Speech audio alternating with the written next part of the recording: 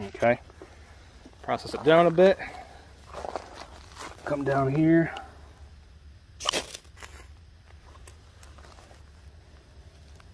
You can raise it to let it climb.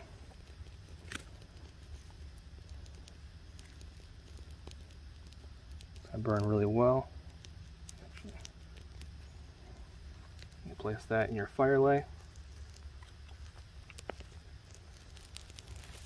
And then if you have a bunch of other birch bark available, and let's say this kindling is really wet in the sides and you really want to dry it out, you can totally take more birch bark and add it on top. That'll help kind of augment that flame. It'll catch really, really good. Take your other kindling, place it on top, take more birch bark. And that betulin is such a great accelerant. It's gonna really help pull those flames through all that stuff.